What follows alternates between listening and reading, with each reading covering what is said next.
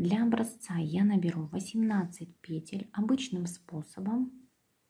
2, 3, 4, 5, 6, 7, 8, 9, 10, 11, 12, 13, 14, 15, 16, 17 и 18. Итак, напоминаю, раппорт узора 3 петли, плюс 1 петля для симметрии и плюс 2 кромочные.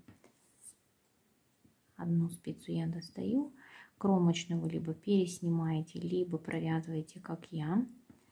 И начинаем наш узор с самой первого, самого первого ряда. Первая петля лицевая, накид и из двух петель вяжем одну лицевую за задние стенки. Готово. Лицевая за переднюю стенку, накид из двух петель, одна лицевая за задние стенки.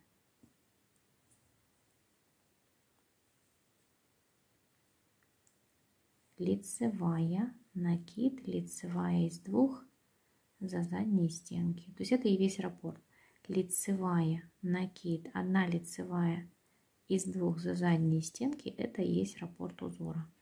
Лицевая, накид, одна лицевая из двух за задние стенки, петля для симметрии лицевая и кромочная петля. Вот и весь раппорт узора. Повторяем лицевая за переднюю стенку, накид. И сейчас мы вяжем одну лицевую за задние стенки, то есть здесь у нас идет петля и накид. Вот таким образом. И вяжем одну лицевую. Повторяем.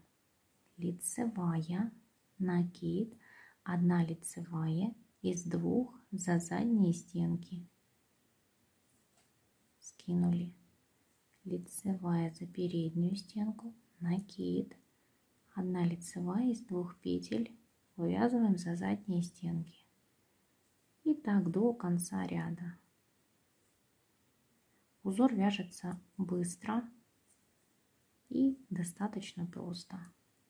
Идеальный узор для начинающих вязальщиц. Петля для симметрии лицевая за переднюю стенку, кромочная. Рисунок пока не видно. Давайте еще один ряд провяжем.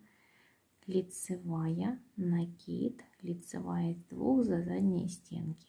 Лицевая за переднюю стенку, накид, одна лицевая из двух петель за задние стенки. Лицевая, накид, одна лицевая за задние стенки лицевая, накид, лицевая, лицевая, накид, лицевая из двух, петля для симметрии, лицевая, кромочная. Это у нас а, лицевая сторона узора. Это изнаночная сторона узора.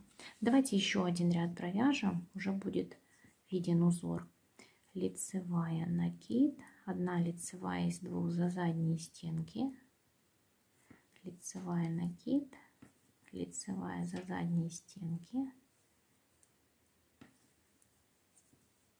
Один и тот же раппорт повторяется с, на